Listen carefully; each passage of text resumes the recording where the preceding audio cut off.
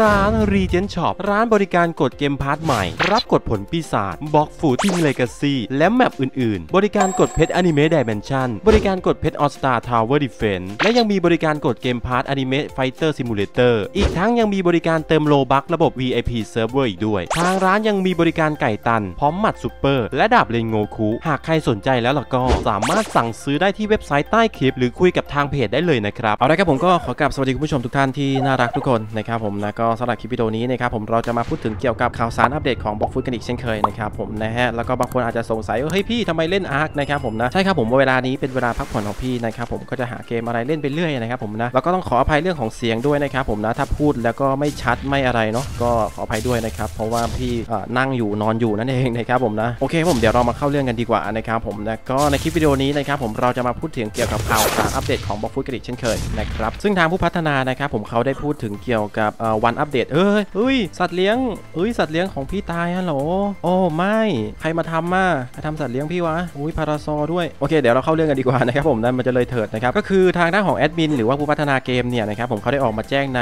ทวิตนะครับผมรวมถึง Discord นั่นเองนะครับเขาได้บอกเกี่ยวกับวันอัปเดตแล้วนะครับผมนะว่ามาวันไหนชัดเจนแล้วนะครับผมนะเดี๋ยวเราพาคุณผู้ชมไปดูดีกว่านะครับผมนะฮะไปเลยครับเอาละครับผมตอนนี้เราก็อยู่ใน Discord เป็นที่เรียบร้อยแล้วนะครับผมนะเขาได้โพสต์ออกมานะครับผมแล้วก็ฝากลิงก์มาด้วยนะครับผมเดี๋ยวเราเข้าไปดูในลิงก์กันดีกว่านะครับว่ามันคืออะไรนะครับอ๋อส่วนลิงก์ที่เขาให้มานะครับผมนะก็จะเป็นการนับถอยหลังหรือว่าเขาดาวนั่นเองนะครับอีกประมาณ 2 วันนะครับผมกับอีก 12 ชั่วโมงนั่นเองนะครับถ้าดูตามปฏิทินแล้วเนี่ยนะครับประมาณ 2 วันใช่ไหมเดี๋ยวนะ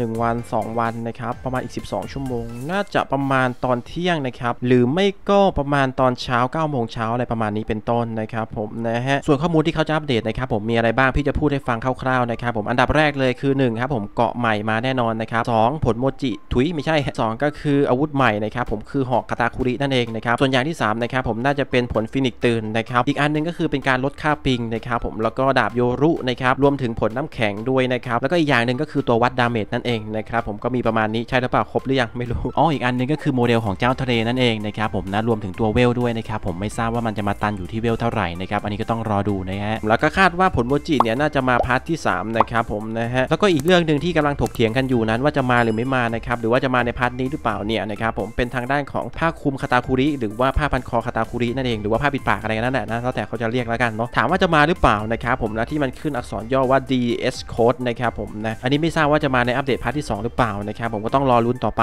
นะครับผมก็มีประมาณนี้นะครับผมนะคลิปนี้ถ่ายตอนประมาณ2องทุ่มนะครับเพราะว่าเขาเพิ่งแจ้งข่าวสารมาปุ๊บพี่ก็รีบถ่ายเลยอะไรประมาณนี้นะครับแล้วก็น่าจะตัดเสร็จประมาณเที่ยงคืนอะไรประมาณนี้นะครับน่าจะลงประมาณหลังเที่ยงคืนไปแล้วนะครับผมนะฮะโอเคครับผมก็สำหรับคลิปวิดีโอนี้ก็มีเพียงเท่านี้นะครับผมไว้เจอกันใหม่คลิปหน้า สวัสดีครั